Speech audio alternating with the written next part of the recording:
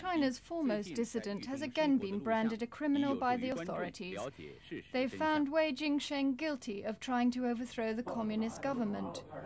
Wei is considered the father of China's pro-democracy movement, but to the communist regime he's public enemy number one.